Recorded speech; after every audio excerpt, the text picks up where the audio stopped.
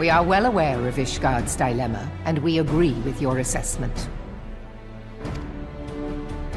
Then I trust there are no objections to the Crystal Brave's intervention. Ul'dah has none. Gridania does not object. The Crystal Braves are yours to command, Alphinaud. Do what you will. We shall pray for your success. It was my hope that you would offer more substantial aid than prayer. I know it is within your means. Do not presume that you have knowledge of our every concern. The Garleans and the Beast Tribes are but two of many. We are not in a position to contribute greatly to the defense of Ishgard. Not when our own homes are still under siege.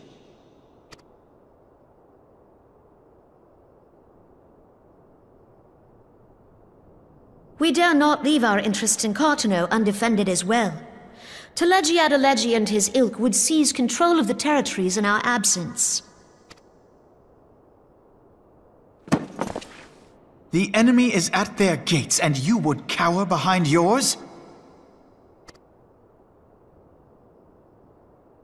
No one is cowering, boy. We will offer what support we can. Aye, support. A handful of men and no more.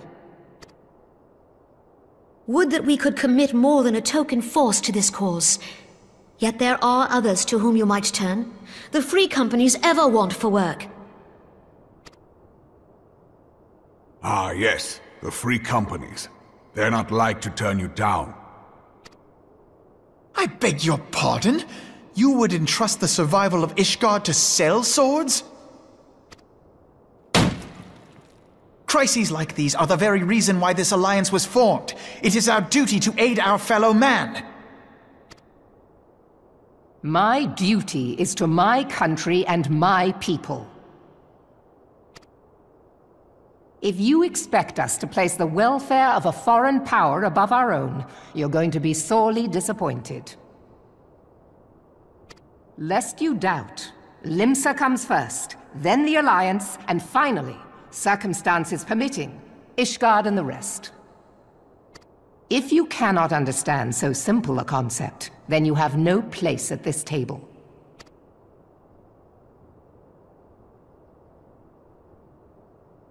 Forgive me, Admiral. I was careless in my choice of words.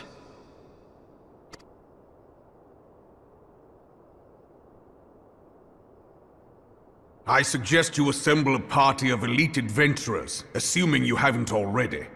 Your fellows served us well during Operation Archon. I dare say they will do so again.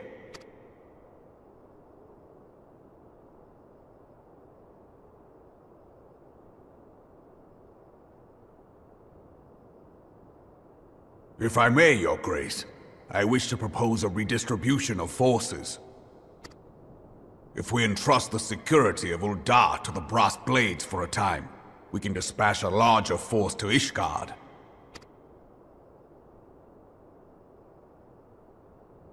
Your Grace?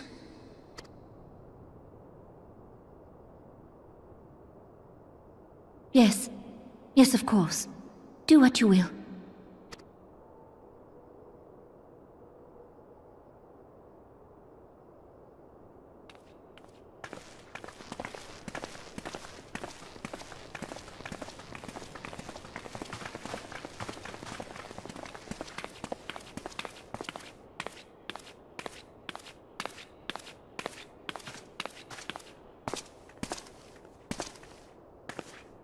Is her Grace not feeling well? To the best of my knowledge, Her Grace is in perfect health. I see. Carry on.